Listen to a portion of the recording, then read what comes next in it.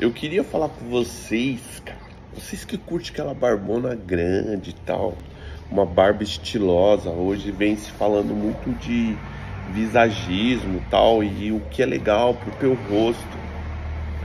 Então é fundamental, né? É...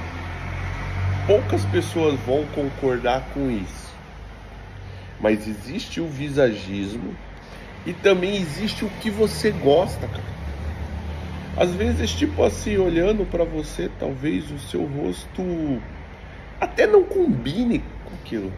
Cara, mas e se você criou uma identidade que você curte uma barba grande? E aí, para qual lado você vai? Então, existe muito um ato que pouco se fala agora. Existe o visagismo, mas também existe você entender e você ver a personalidade do que o cliente quer. Porque a resposta final, cara, você pode dar ali uma ideia. Igual nessa barba mesmo que a gente fez aí, dá uma olhadinha nela.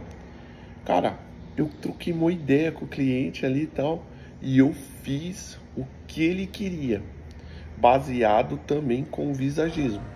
Então eu consegui entregar um trabalho 100% do que ele queria.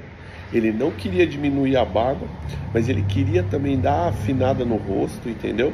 Então foi um conceito aprovado pelo cliente. Isso é fundamental.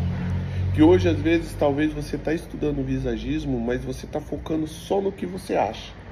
Então o visagismo não é só o que você acha, é um conceito de uma conversa do barbeiro ou do cabeleireiro com o cliente para que tenha o melhor resultado.